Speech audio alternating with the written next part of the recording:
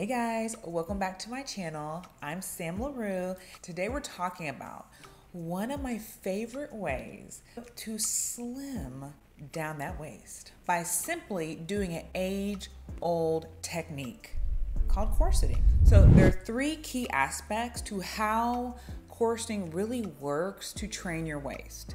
So first and foremost, so it's training your waist to slim down. It's basically binding you into a smaller frame. Every time you pull the corset a little bit tighter, you're training your waist to be smaller. It also helps with toning. So while you're wearing your corset, you are literally doing mini crunches. Like when you sit down, you're crunching and holding your core. When you get up, you're you're literally holding your core in so that way you can help like propel yourself up. And you don't even realize it. It's not like you're painfully getting up. It's just like a, a brace. It's just like you're hugging your core in tight so that way you can maneuver around. So it really helps you to tone. And then the third thing is you're not as hungry. If you have an issue with monitoring how much food you eat, or if you have a propensity to overeat, corseting might be the way for you because literally it like shrinks your stomach. It's the equivalent to like if you get your stomach stapled. So it's really great if you have that issue of overeating. So if you wanted to spot train and you're just trying to get that hourglass figure or you're just trying to trim down your waist, the best way and the only way really that I know is corseting. And this is something they've been doing since the beginning of time. So it's like nothing new we know corseting works. There's all kind of proof and evidence. There's girls that have corseted all the way down to like a 10 inch waist, like something ridiculous. So we know it works. It's just, I feel like I guess there's some misunderstandings as far as how to corset, when to corset, like the whole procedures on corseting. And I do think a lot of people get confused with waist trainers and corsets.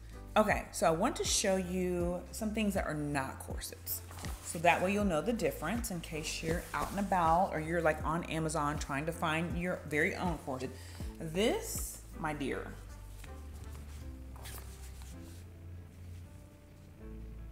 not a corset. If you can do this with it, it's not a corset. You could wear this working out, or if you had like an outfit you wanted to wear this is gonna like compress you so that way you look good underneath an outfit or your gym clothes. That's the only thing this is for, okay? So, not a corset. If you go onto Amazon, you will see items just like this listed under corset. Not a corset. Not a corset. okay, so no, no. This not a corset. Great to wear at the gym. It's breathable, but again, not a corset. Something like this. This is great to wear with a particular outfit, like going on a date night or something like that. If you want to look kind of snatched, great for that. Obviously, not a corset. Let's get into the actual corsets now. Now, I'm gonna start with my favorite. So, my absolute, hands down, favorite corset is her. She is my favorite. So, one, I love the fact that she's satin. The satin finish is just soft. It's easy if you do get water or something on it, it's easy to like just wipe it on off. So, I love that. So, it has six total steel bones. So you can tell I'm not able, there is no folding this, right? It's solid, which is what you need when you corset because literally when you're corseting, so basically when you're corseting, what you're doing is trying to get this back area, which is your strings, you're trying to get the strings to pull shut. So when the strings pull shut, essentially that means you've hit your target, okay? So that means you hit your target, you've been able to close the corset. When I sit down in this, it's gonna keep my stomach flat. It's not gonna have that bend that you have when you're wearing one of these. So when you're wearing one of these, this is just compressing like your stomach, right? It compresses your fat. But when you sit down, you get like a big, huge fat bubble. Hopefully that makes sense. If you've ever worn shapewear, you know what I'm talking about. You get that big, huge, like fat bubble. That's just like, you look cute standing up, but as soon as you sit down, it's over. the jig is up. But in corseting, that never happens. So when you sit down, you look just as good. It holds you together and compresses you evenly throughout your body. So how you stand, how you look standing up is exactly how you're gonna look sitting down. That's the beauty of corseting is you actually you look so good but what it's really doing is it's holding that shape, and that's what's gonna mold you. Your shape never changes from sitting to standing. So it's important that you get a corset that's really gonna hold you in. You don't want anything flimsy that is not gonna hold your shape together. Now keep in mind, all of these corsets I've had for over 10 years, they have kept their shape and kept the integrity 10 plus years.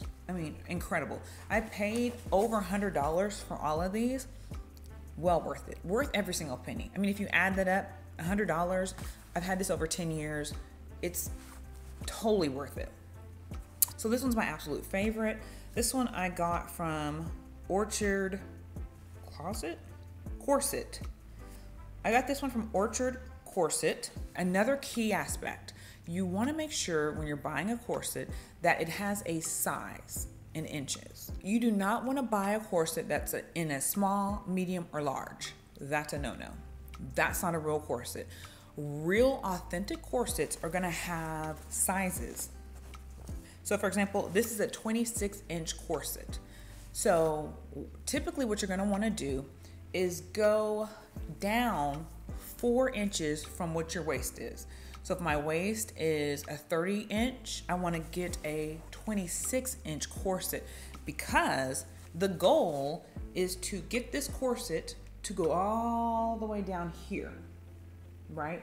To close. So once this corset, once I can pull these strings all the way till they can't be pulled anymore, this indicates I'm now at a 26 inch waist, which may be my goal. If I want to go down, like once I met the goal of the 26 inches, at that time I can say, well, let me go get another corset and I'm going to go four more inches and work on getting four more inches. Or I'm just going to stay where I'm at, keep this 26 inch corset and use it as maintenance. So you have options, but you definitely want to find a corset that's around four inches smaller than what you currently are. It's integral. It's key to measure. I know a lot of times when we buy stuff, like normally I don't even measure, I just guesstimate. You don't want to do that on corseting. You want to make sure you get your exact size that you need. And I say that because let's take a look at the first corset that I ever purchased. Okay, this one too is from Orchard. I think these are all from Orchard corsets, actually. Just let me know, guys, if you see a problem with this one.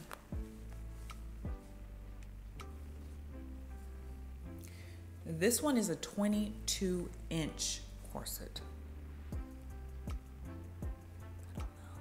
I literally just don't know. I don't even know. Like, why would I get this baby 22 inch corset? I think so. Again, I just did not measure. I was like, I like the style and vibe of this one. I want to be 22 inches. Let's get it. And I keep in mind, this is 10 plus years ago. I don't even think it's realistic for my waist to ever be a 22 inch. I don't think it's ever been one since the beginning of time, since birth. I mean, I don't know why. This was just an impulse buy. First, first corset, and I was just like, yep, that's the one. Totally not the one. This thing, do you see? This is this is how much my back is out. To get to here would be crazy. Like it's not even fathomable for my waist to be that small. This is how the size of this. If we were to tie this all the way up, let me show y'all the size. This is ridiculous. Okay. This would be the size. This. I'm like this doesn't even cover up one of my boobs. Like, let's be real here. This is the smaller, like, I don't know. This is like the size of my arm. What are, why? Why did I do this? But, anyways, So I really haven't been able to really wear this. I bought the wrong size. Um, and that's when I went back and bought this one, the satin one. So love everything about this. It's the right size. It's the right fabric for me. Love, love, love. So much more prefer. Now, let me show you another mistake I made. This is corset number three. This is my second mistake. So I made a mistake on the first one I ever bought, corrected that, and then bought the second one, and this one's perfect. And then I was like, you know what? I so much enjoyed this one. Let's do it again. Let's buy another corset and get bigger and better. So I went for the Big Daddy. This versus this. For me, I was equating more support being better. Not necessarily the case, no. Because one, I didn't measure. And this is why I'm saying measuring is so important. I did not measure this. I went with a 26 inch. So this one is 26 inches. And I just thought that's all that mattered. But not just your waist size matters, your waist length matters. This literally hits me on my, like when I'm sitting down, it hits me on my thigh. So this does not work. It cuts off circulation. It's just way too long. It hits like way up here and it goes all the way down to my thigh. So yeah, so this is way, way, way, way, way too long. It's uncomfortable. I cannot even sit down. So this was another fail. way too long. So the key in me even showing you these is just to tell you to do your due diligence. If you're gonna spend a good bit of money and if you're gonna invest in a corset, do all the correct measurements. Do not skimp out in the measurements and say, oh, this should fit, you know, oh, this one should work. Definitely do your due diligence. So let me do a disclaimer though. Please consult a doctor before you do anything. I'm not a doctor, I'm not a physician, I'm not board certified. I'm just giving my own personal opinions. So, yeah, definitely figure out if it's right for you. But this is just going to be an overview on what I've done, the success I've seen, and the journey that I'm about to go on. This coming week, I want to do an experiment of seeing how long I need to wear it to see results. So maybe is it three hours? If I wear it every day for three or four hours, what the results may be. So I'm very curious. Like if I'm consistent with it, I'm curious on what the results will be. So, if you're interested in learning more about corseting and following my journey, definitely subscribe to the channel so you can be notified when I do post new videos. I think that's it for today. I just wanted to kind of go over some basic fundamentals of corseting. Until next time, I'll see you beauties later. Bye. I know you told your friend you're not okay. And tell me what's wrong and why you never said you felt that way. Guess you're trying to stay strong and fake a smile until